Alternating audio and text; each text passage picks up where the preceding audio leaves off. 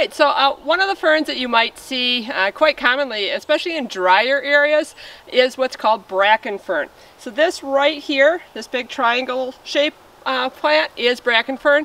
What's kind of cool with bracken fern is bracken fern is one of the uh, five most common vascular plants in the world.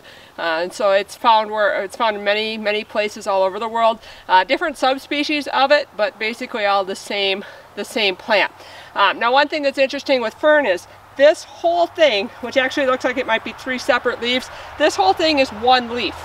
Uh, the stem or the petiole of the leaf is coming up here out of the ground. Um, and then we have the three, the very deeply divided uh, leaf up here on top.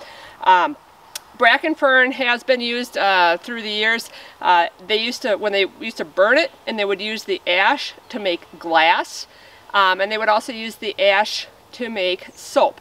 Um, some parts of the world they still use the ash for soap making, but not so much for glass anymore. Bracken fern has kind of this neat uh, insect repellency kind of built into it.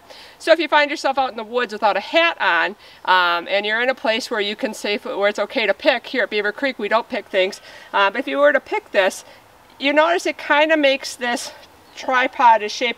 If you flip this over, it turns into a really nice little hat and will help keep the bugs from biting you on top of the head. So again, this is bracken fern. Keep your eyes open as you're out exploring.